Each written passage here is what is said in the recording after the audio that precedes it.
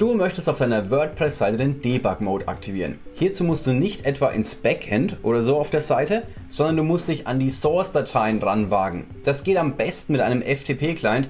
Hier verwende ich am liebsten das Programm FileZilla. Wenn du ein solches Programm nicht installiert hast und auch aus irgendwelchen Gründen nicht installieren möchtest oder es gibt vielleicht irgendeine Beschränkung, hast du noch die alternative Möglichkeit, dass du mit einem Web-FTP an die Seite herangehst. Das geht meistens über das Provider-Menü. Falls du aber FileZilla nutzen kannst, würde ich dir das auf jeden Fall empfehlen. Das ist nämlich super, um quasi auch den vorherigen Stand der Dateien nochmal für dich selbst zu behalten.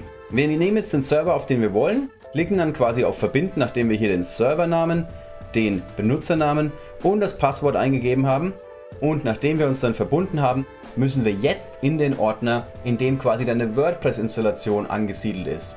Das ist der Ordner, auf den die Domain zeigt, die quasi mit deiner WordPress-Seite betrieben wird. In dem konkreten Fall ist es der Ordner, der Vendo heißt. Das heißt, ich gehe hier rein und in diesem Ordner, du erkennst ihn daran, dass dort das WP-Admin, das WP-Content und das WP-Includes-Verzeichnis angesiedelt ist, findest du jetzt die Datei wp-config.php. Diese Datei musst du dir herunterladen. Das geht super einfach, Command und dann Pfeil nach unten auf dem Mac und anschließend kannst du die Datei bearbeiten. Falls du jetzt hier kein Programm hast, das die Datei sofort aufmacht, kommt vielleicht irgendein Dialog, der dich fragt, mit welcher Datei oder mit welchem Programm vielmehr du diese Datei öffnen möchtest. Da kannst du irgendeinen beliebigen Editor nehmen, also Notepad zum Beispiel. Am besten ist es natürlich, einen echten Code-Editor zu nehmen. Hier empfehlen wir dir Visual Studio Code. In der Datei scrollst du ganz ans Ende und hier findest du im Normalfall die Zeile Define WP Debug und dort steht üblicherweise eben False. Da gehst du ran und machst aus diesem False ein True. Anschließend speicherst du die Datei und dann kannst du zurück in den FileZilla. Der kriegt es normalerweise mit, zumindest wenn du den richtig konfiguriert hast, dass sich die Datei geändert hat. Jetzt sagst du Ja, wieder auf den Server übertragen und das war's. Jetzt ist der Debug-Mode auf deiner Seite aktiviert. Wenn du jetzt neu lädst, kommt es mitunter vor, dass du hier oben irgendwelche Meldungen siehst. Die verschwinden manchmal hinter dem eigentlichen Inhalt der Seite. Diese Meldungen weisen darauf hin, dass irgendwas nicht in Ordnung ist, logischerweise. Der Mode heißt aber nicht umsonst Debug Mode, denn der ist dazu da, dass du diese Fehler, diese Bugs debuggen kannst, also ausmerzen kannst. Debug-Modes werden üblicherweise auf einer Entwicklungsumgebung aktiviert, damit man auf dort alle Fehler sehen kann und die nach und nach beheben kann.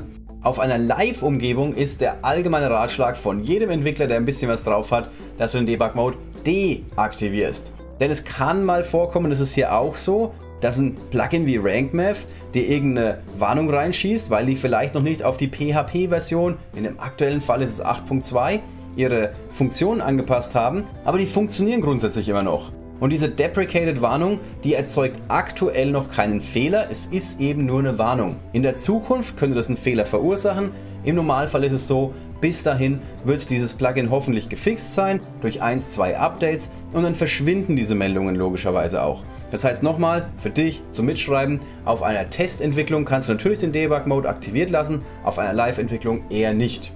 Falls du jetzt irgendwelche Fehler hast, die du einfach nicht gelöst bekommst, möchte ich in diesem Video nicht drauf eingehen, denn wir haben diverse Videos auf dem Kanal, wo wir dir erklären, wie man die Fehlersuche in WordPress startet. Üblicherweise ist Schritt Nummer 1 den Debug-Mode zu aktivieren. Das weißt du jetzt. Falls irgendwas auf deiner Seite immer noch nicht funktioniert, kannst du jetzt in die anderen Videos mal reinschauen. Die verlinken wir dir selbstverständlich unten in der Videobeschreibung. Und dann sehen wir uns hoffentlich bald mal wieder hier auf dem Kanal. Mach's gut, bis dann.